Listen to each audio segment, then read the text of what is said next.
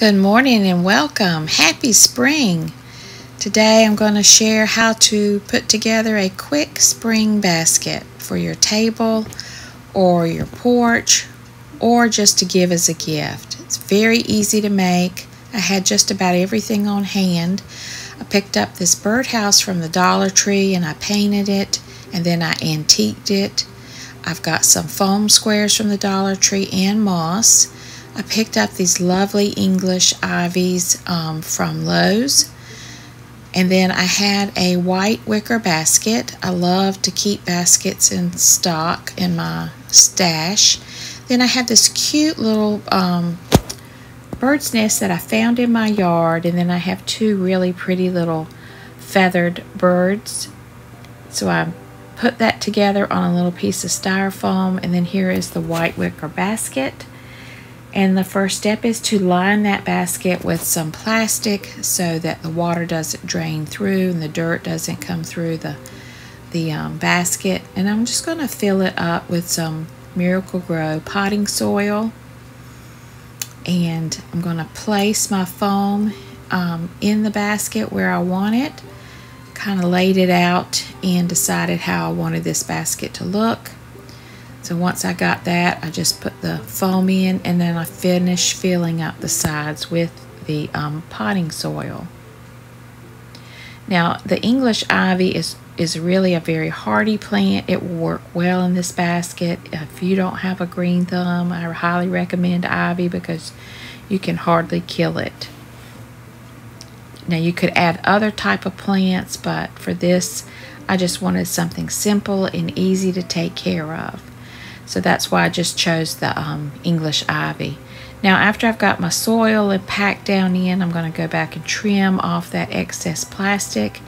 You don't have to worry about the rest of it because it will be covered with that um, Spanish moss. Just pack it down in nicely and then um, make a hole. I'm going to put ivy on either side of this basket.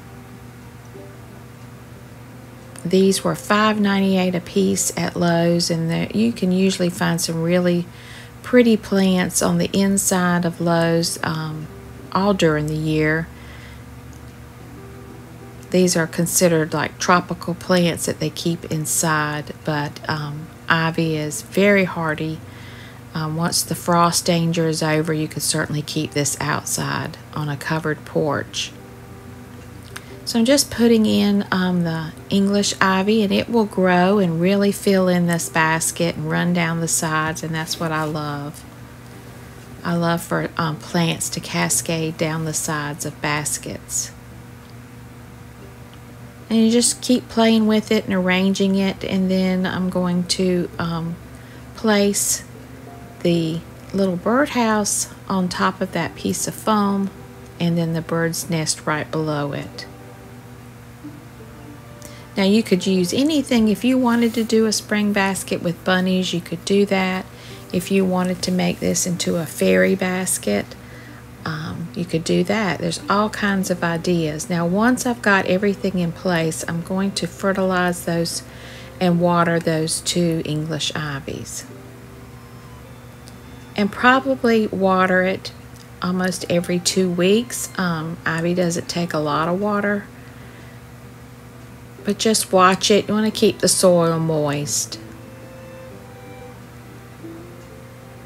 Now after I've kind of decided how I want everything to look, I'm going to start tucking in that um, Spanish moss.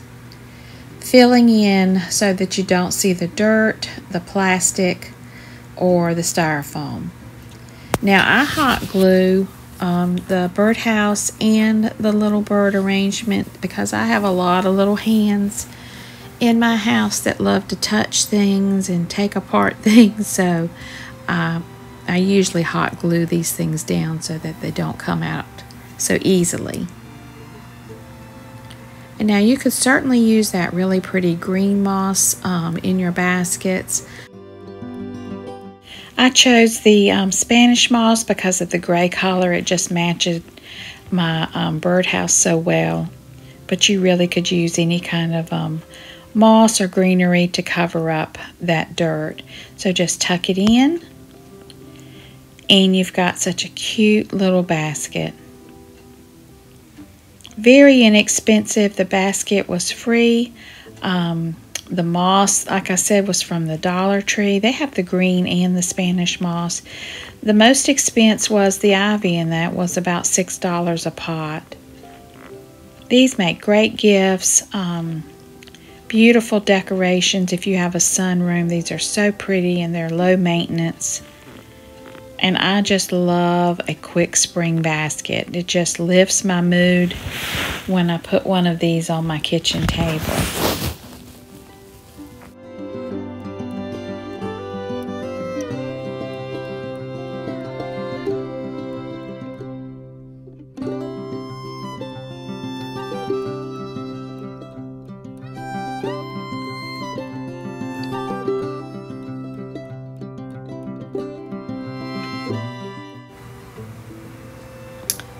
And here it is all finished up. You could certainly add a bow to it if you wanted to, but I just love the natural look and the sweet little birds looking up at you.